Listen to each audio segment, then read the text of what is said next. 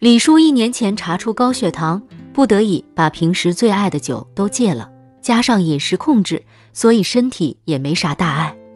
只是临近年关，和老友聚会多了起来，别人喝酒，他就在旁边吃花生。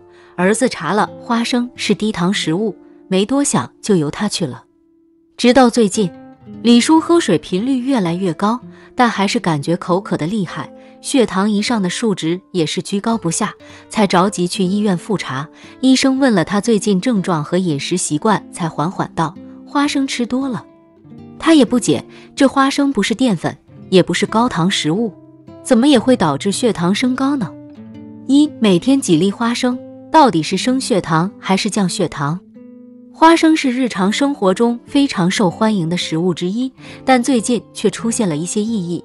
有人说吃花生容易高血糖，还会导致糖尿病；也有人说吃花生可以帮助控制血糖。那么，花生到底是升血糖还是降血糖呢？其实，如果只是适量摄入，吃花生还是利大于弊的。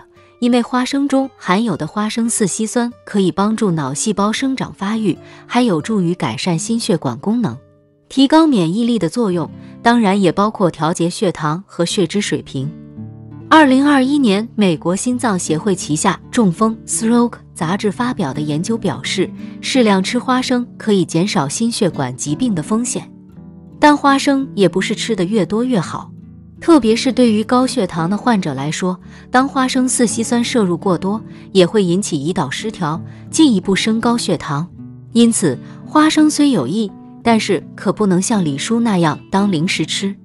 另外，花生碳水化合物并不高，升糖指数低，糖尿病人也可以吃，只是吃的时候一定得注意控制好量。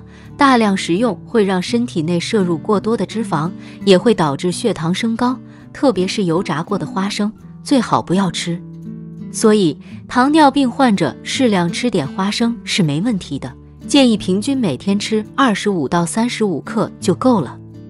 同时，因为花生含有大量蛋白质，饭前吃花生会有一定的饱腹感，所以糖尿病人可以选择在饭前来一把花生，正好也能控制食欲。二，这五种蔬菜是糖尿病克星。能代替药物降血糖，有传言说一些蔬菜有降血糖作用，多吃可以代替降糖药使用，还没有副作用。这些所谓的血糖克星蔬菜真的可以降血糖吗？一南瓜，有传言称南瓜因为含有铬和南瓜多糖两大元素，所以有很好的降糖作用，但实际上南瓜升糖还是更快一些。据相关数据显示，南瓜糖分并不低。糖类含量为百分之五点三到八点八，而且煮熟后升糖指数高达七十五，是妥妥的升糖食物。虽然吃南瓜降糖的说法并不靠谱，但也不是说糖尿病人就不能吃南瓜了，只是要注意量和烹饪方法。专家建议糖友每天南瓜食用量控制在一百到两百克，还要相应的减少主食的量，日常可以蒸着吃。或者搭配五谷熬粥，也可以和其他蔬菜一起炒，但不要放太多油盐，能延缓血糖上升。二，西兰花，西兰花也是因为含有铬元素，所以被当成降血糖蔬菜，但学术界一直对铬降糖还是升糖存在一定争议，至今也没有那个研究结果得到官方一致认可。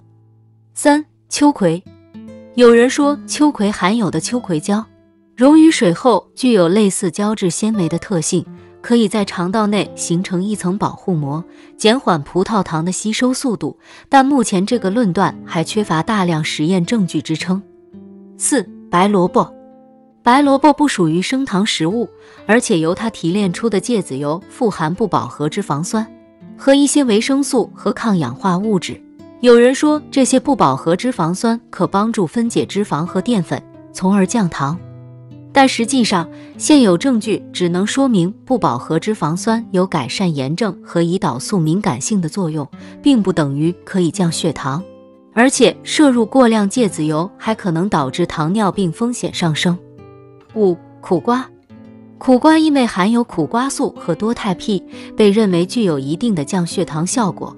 然而，实际实验过程中，两种活性成分都没有表现出明显的功效，而且在苦瓜中的含量微乎其微，所以靠吃苦瓜也很难达到降低血糖的效果。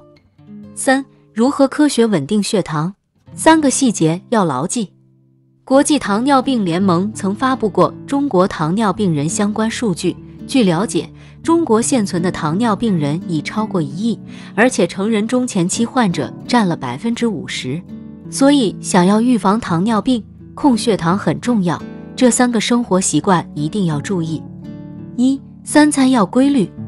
现在很多人为了减肥胡乱节食，最后控制不住又加重暴饮暴食，导致血糖波动较大。影响了胰岛素分泌，反而人会更容易胖。